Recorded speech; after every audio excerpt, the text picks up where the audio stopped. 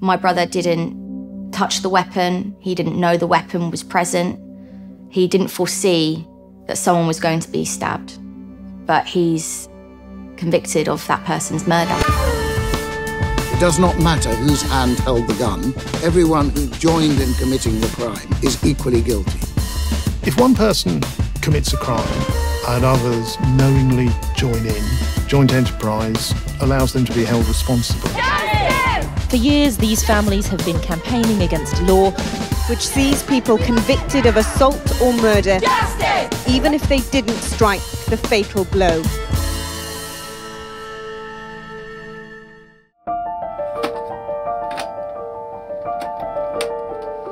Nine years ago, my brother ran into a spontaneous fight. One lad was stabbed to death during that fight, and my brother was convicted of his murder despite never touching that weapon. Alex Henry, Cameron Ferguson, and two friends were shopping here in Ealing Broadway. A fight broke out, which is believed to have lasted less than 47 seconds. The family insists that Alex Henry threw a mobile phone at one man and punched another and they insist that he didn't even realise there'd been a stabbing. Alex is my younger brother. We're very, very close. He was always quite reserved, an anxious person. And so I felt very, very protective of him. He was expelled from school when he was 11 years old. He went to a pupil referral unit and began getting into trouble, smoking cannabis, hanging out on the streets. My brother was out shopping in Ealing Broadway with three friends Eunice Taib, Cameron Ferguson, and Janelle Grant Murray.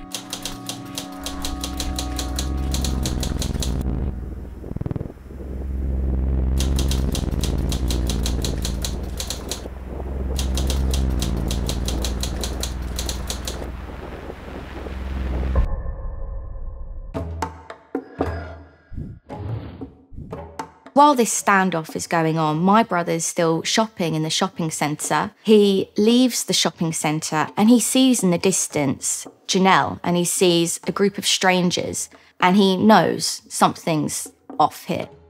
So he immediately breaks into a sprint. You see him, he runs, he crosses the road. That's the last moment Alex is captured on camera.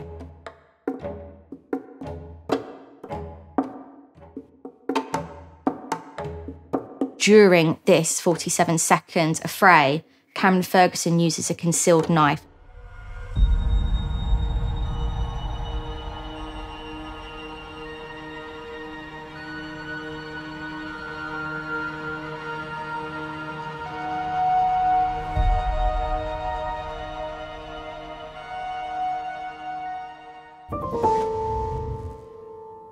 Police found Alex on the Thursday, which was only two days later. They found him hiding out in Croydon.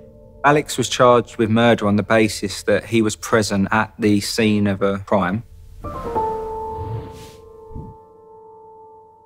It would be then for a jury to determine the actual role played based on whether you were what's called the principal or the secondary. You didn't have to be seen as the principal, i.e., the stabber. You could be the secondary. Presence would, would suffice. I knew the Friday evening that he had been charged. He couldn't breathe, like he was screaming. Yeah, it was awful to hear him like that.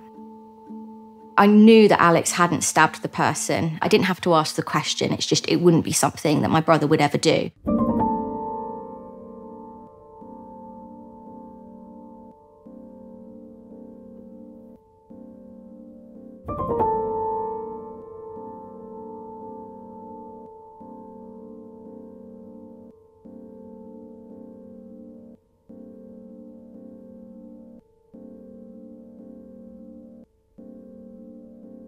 And therefore, when the fight kicked off during the shopping trip, my brother would have remembered that and then had that glimmer of foresight that that knife would be used.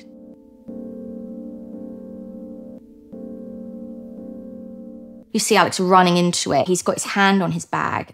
Now you're saying he's reaching in to grab a knife. Where did those dots join? There was no clear evidence that there was two separate knives because the knives were um, never found. By the time the actual fatal stabbing took place, they was in an area that wasn't captured with CCTV. Your ability to cast doubt on the prosecution case is limited where you don't have these evidential opportunities.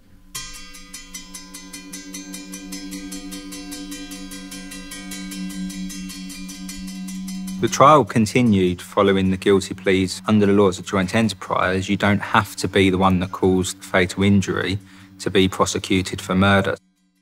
I remember thinking that I wish the jury knew him because it's so impersonal. Alex is behind a screen in the dock, and there's like this glass, and it's, you know, you look and you think, why do they need glass? Is he dangerous? And I think if they, they knew Alex, they knew us, um, they wouldn't convict him. I didn't actually think he was going to be convicted. I didn't actually think that it was a possibility because the jury have to believe that Alex knew Cameron Ferguson had a knife. And the prosecution's closing arguments was friends tell each other everything. I thought, you can't be sure beyond reasonable doubt. And so when the verdict was handed down, mum was on the floor wailing and screaming. And I was just kind of very focused on Alex, trying not to cry. Um, but ultimately, when I got home that day, I just completely broke down.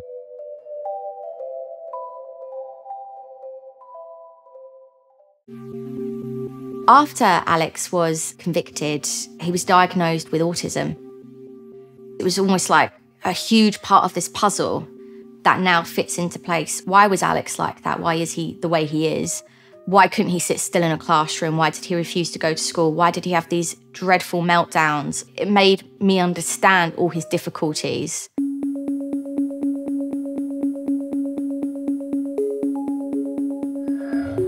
The court took a wrong turn in 1984, and it is the responsibility of this court uh, to put the law right. The law didn't take the wrong turn, the judges got it wrong. You have to intend to kill or commit serious harm. But 30 years ago, they decided that foresight was enough.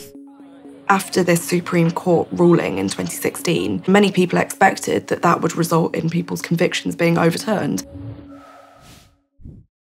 But instead, in order to appeal their convictions, people have had to meet this substantial injustice test, which is an extremely high threshold.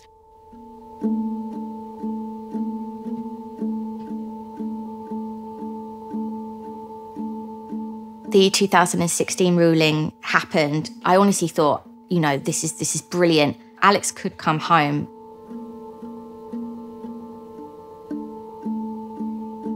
The leading expert in the field, Professor Baron Cohen, gave evidence to the Court of Appeal and basically said that Alex is autistic. Because of his autism, it's highly likely that Alex isn't guilty of this offence, considering it was 47 seconds in length, it was spontaneous, it was fast moving, and there was no prior communication between any party. Today, judges ruled that in these 10 test cases, the convictions were safe and that the rule of law was applied correctly. The deceit in that judgment to say it's irrelevant, to say it might not be credible. What more can we produce? There's nothing more we can do. We've got the best expert witness in the land. Uh, what more, what more do they want? I built his hopes so much as well. I kept saying to him, You're going to come home.